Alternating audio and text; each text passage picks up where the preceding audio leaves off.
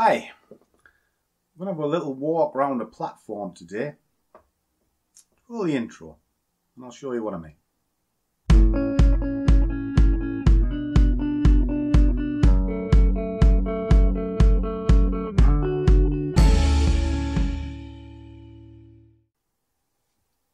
Hi, welcome to the channel. If you haven't been here before, my name is Langers and what I'm trying to do is put trading in the real world. Maybe inspire your own trading and show you a thing or two along the way. So if that sounds good, click the little subscribe and bell icon, drop a comment below, or if you've got a query, by all means, email me. You'll find all my contact details in the description. So where we're up to? Well, the last few videos has been about trading a small account. And you have to go through the preliminaries before you get into the big leagues. It's just like anything else. You have to start small and build up. And I know straight away what you're after. You're after this. You ding dong! And possibly this. You such a thing. But if you don't start with the basics, what you're going to end up with is this. You ding dong! And possibly this. Matron, take them away. I, on the other hand, have worked for a long time and I still have my own aspirations, which is this. Hello. Sorry. You've got a dream, boys and girls. You've got a dream. And that's what trading is. To a lot of people, it's just a dream. And the idea of this channel and everything is to try and turn that dream into reality. And the only way it can be reality is doing it properly.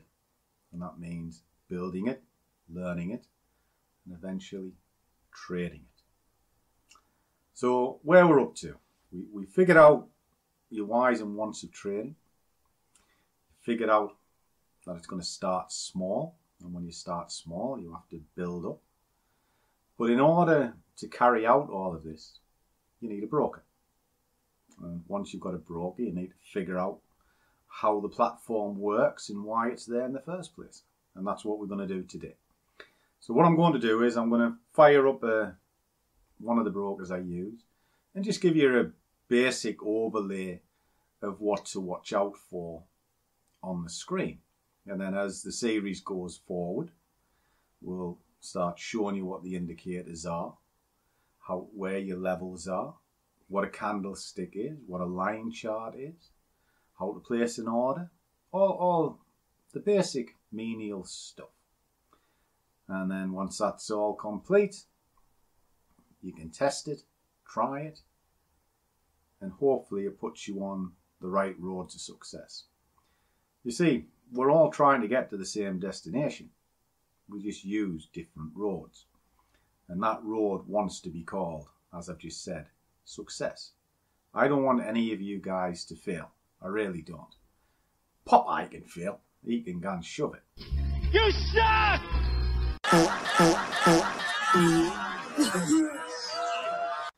But for the good guys out there, if I can help you, I will.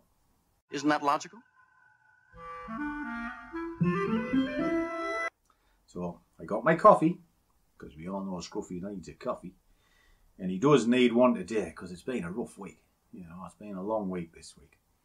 And let's jump on and see what we can find. Okay, guys. So what I'm going to do is I'm going to give you a quick overview of a platform. They all work roughly the same, and it's just a way for you to execute your business and carry out your trade. Now, if you haven't had a broker before, they're very easy found. You just fill in a few personal details, give a little bit of identification, and fill out a compliance questionnaire.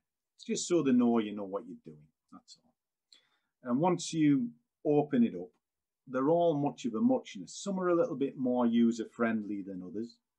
Some are cheaper than others. Hence why I have multiple brokers. I use IG because it is very user friendly. I do all my charting here. And Intertrader CMC markets are a little bit cheaper to operate because the spreads are a bit tighter. And the reason I have multiple is I never carry all my eggs in one basket. One broker might be down, I've got two that can back up, that sort of thing. So what do you look at? Well, the first thing you're going to be wanting is what can I trade? Well, that's very easily set out for you and it's broken into various categories. You have your indices, you know, your FTSE, your Wall Street, your S&P 500, that sort of thing. That's all found under indices. Your Forex, again, it's broken into categories for you. You'll normally deal with the majors. These are the most liquid markets. And if you're new to trading, you'll find there's a lot of terminology to get your head around. You don't need to know it all as long as you understand what you're looking at. And these terms are the majors, which is this lot here. You have the minors, which is these ones here. And the difference is these are very liquid, these are not so liquid. It's the movement of market. In other words, how far it can move in a day. Then it goes down right the way through to your exotics. You'll normally only stay amongst these. You've got your cryptocurrencies, not a big on the cryptos. Shares. Basically, if a company is on a stock exchange, it is a share and you can buy into that and you can trade whatever is your favorite company. You might like Facebook, so trade Facebook. And I'll do a video of how to siphon them down because there is thousands of them. You then have your commodities, your oils, your gold, etc. Uh, I don't go a lot into commodities. I do trade gold, I do trade oil, and I trade a soft commodity, which is coffee. There's a shocker. No other reason than it's a good directional market. Okay, you've got your bonds and your rates, your ETFs. ETFs are a good vehicle. They're like a basket of stocks all bonded together, and then you can trade it as a single entity. And then your options. And again, I don't look at options too much, but they're all very easy to navigate. And that's what the broker wants. It wants you to be easily to navigate because they, they're not wanting to lose you. They want you to keep trading. And the reason they want to keep you trading is they get paid by the spread. Okay. So now you've decided that you're going to trade an instrument, uh, cable for argument's sake. Right? Cable is the Great British Pound versus the US dollar. Uh, a lot of the currencies have strange little nicknames. And what you will initially see is something like this. And a chart, as it pulls up, is two dimensional. You have a time axis and you have a price axis. And it becomes three dimensional when you put on a trade. But how do you know when to trade? This is the key point. Because you don't just rock up, switch your broker on and think, right, well, there's a there's a deal ticket, I'm just going to sell it you need to do a little bit of technical analysis on it, or at least have an idea of what you're doing before you go to place your order. And the brokers give you these tools to work with. So this one, you can have multiple tabs. So you can have all different tabs up here and use them for different things. Well, I chop and change them all the time. They will give you the ability to look at a market on multiple time frames on a single screen. Now, if you don't have the benefit of having screens like what I do, you can do it all on a single screen. You know, it's great having multiple screens, but sometimes that's just not feasible. Right? So what they'll do is they'll give you something like this. So it'll break up the chart. So this is a single product. You put your daily. Down here. Your, whoop, that didn't work, did it? I'll put it back where I always put it. I always leave it up there so that it's out the way and I can still get hold of my deal ticket. 15 minute, and a one hour. So what's this telling me now? Well, it's showing me what the daily is. It's showing me what the four hour is, the one hour and the 15. And I can now start to make some decisions. So there's the daily. I can see it's drove down and it's bouncing off this area. And you can see that nice and clearly. And I can also see that it's had a reversal here and it's stalled here. So that gives me an area of interest, which is there. Right. See it. Another one there. And there is one above it, which is there. You can see the price has come down, bounced strongly away from it than it is prior. So that's just give me two areas of attraction. Right? And the price is boxed between the two. What does that mean at this moment? That doesn't mean anything.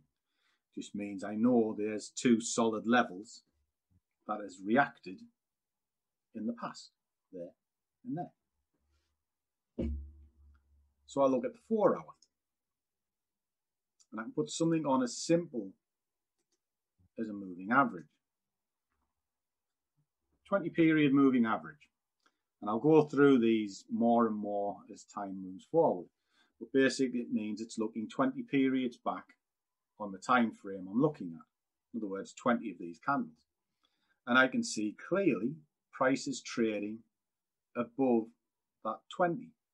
So I've got a theory here that the price has moved down, it's bounced off, and it is pushing up, and I can see it clearly here because it has broken this support and resistance line, an area of interest, and is gradually moving up to the next one.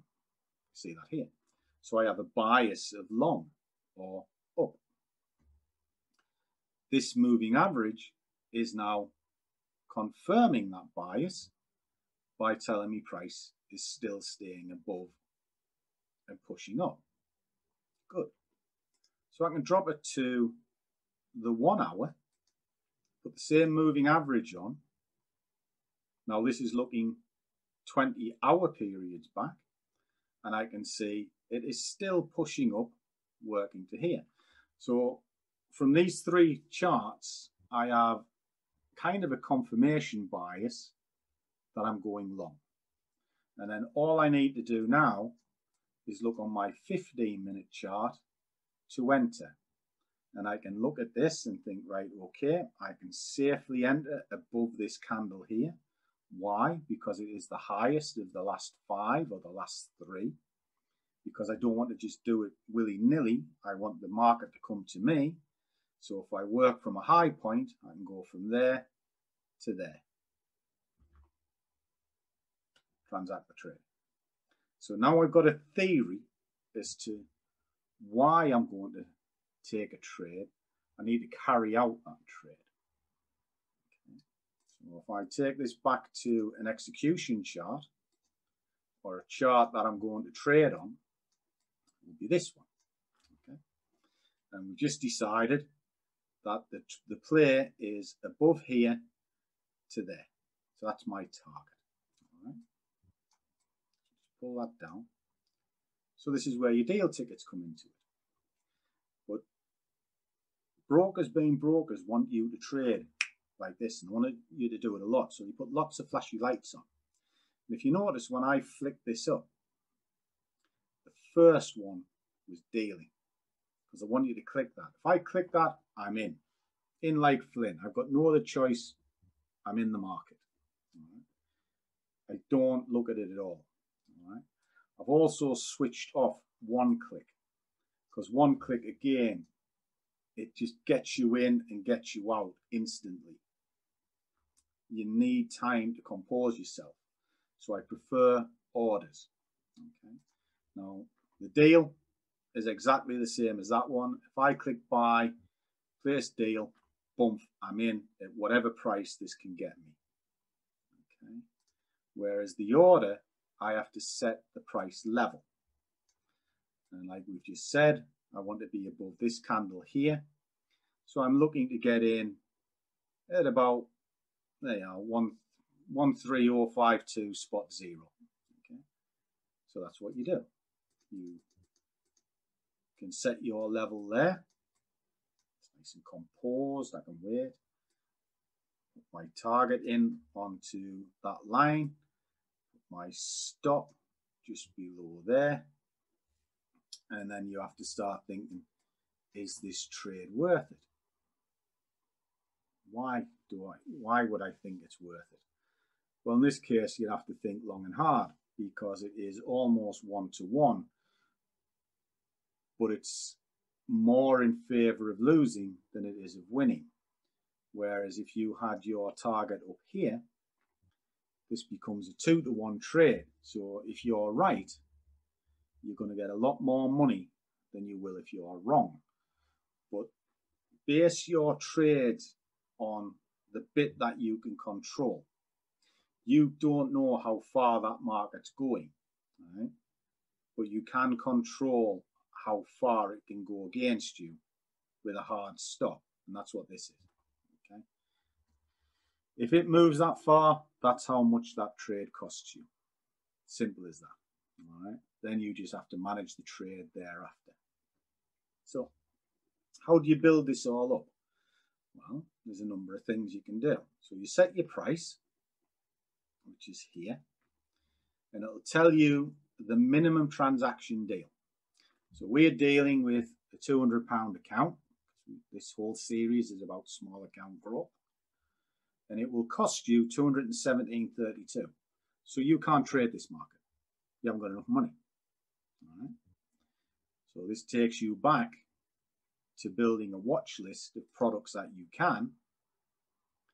Because if you were looking, say, at the FTSE, that would cost 150. So you could afford that. So that would be in your watch basket, whereas this one won't, because you can't afford it. All makes sense in a minute. But let's just say you had £300 in your account and you can afford to open this trade. What does this margin represent? Well, all it represents is how much money you need to open the account. So if you only had £230 in your account, I still can't really open this because the second the market moves against you, you're going to get what's called a margin call. And if you haven't come across a margin call before, it's just the amount of money that you need to kind of put up as collateral against the trade that you're going to take. And as the price moves against you, your margin increases and therefore it eats up the amount of money you have in your fund. And if the margin exceeds your fund amount, so in this case 230, may require 235 pounds in order to transact the current price, you'll get what's called a margin call. And you've got a couple of choices at this point. You can either close the trade off at a loss and just be done with it. You can close part of the trade off take a little bit of a loss, but put so much margin back, which allows you to carry on the rest of the trade, or you simply put more money into the brokerage. Then the choices is yours. If you don't, the broker will make the choice for you and they'll just close the trade. And then you've lost. You're better off doing it yourself and it helps with your psyche. Okay. Now, once all of this is afforded and one thing and another, these areas come into play because you can have a normal stop. And basically, when the price gets to here, the broker will take you out and you pay off the loss. So if you lose £20 out of your 200, you're left with 180. But sometimes the market moves a little bit too quickly for the broker. Flash crash, for example and they'll try and get you out at the best price. And instead of it being £20 loss, could be 23 because that's how long it took to catch the price. But you can use a guaranteed stop. And what a guaranteed stop is, is exactly what it says it is. they guarantee that if you say you stopped at 20, you will stop at 20. And that is it. You know, very, very simple. And then once the trade is up and running, you can have a trailing stop where it'll move the stop up as the price goes in your favor, locking in profits, if you like. Okay. So it's actually very simple way to trade, and it is simple. It really is. But what they want to do in order to continue with the simplicity is help you trade. The more you trade, the more they make money. But they also want to keep you.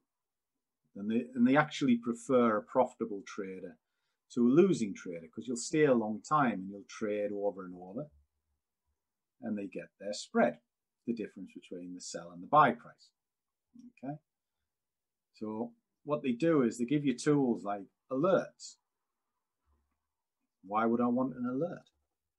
Well, if I have a multitude of accounts, for argument's sake, I've got a good size account and I'm looking at all of these and all of these. Well, there's like 28 pairs there to, to be looking at. It's like, bloody hell. To analyze all of them on a day is very difficult. So you can set an alert up to pick out the ones that you want to analyze. And it's very simple. So you can say, right, on a four hour chart, if I'm looking at, say, a Bollinger Band, which is what that is, I want to know every time it is outside the Bollinger Band. And I want to know at the end of the candle, and I want to know every time it does it. And then just put in there cable. Right. Now what that'll do, every time this market is outside the Bollinger Band on a four hour market, this will send a message to my phone saying, look, fat boy, get yourself on the screen. We need to have a look at this. Saves me bouncing through all the different time frames. Nice and simple. Good tool. Then they give you God knows how many indicators. Well, just said a Bollinger Band, so you put your Bollinger Band on. You can put your RSI on. All these little things that we're going to discuss then they'll give you drawing tools, as you've just seen. So you can draw areas of interest. And they do it all for you to keep you interested. If you're interested, you'll stay on the platform. If you're on the platform, you will trade. If you trade, they make money. And that's all a platform's for. You know, at the end of the day, it is a business. So I hope that all kind of makes sense. Um, by all means, drop some comments below. I'll do my best to get back to you. And if you like this sort of stuff, click the subscribe button. So remember, guys, do what you love, and the money will follow. I'll see you all in the next one.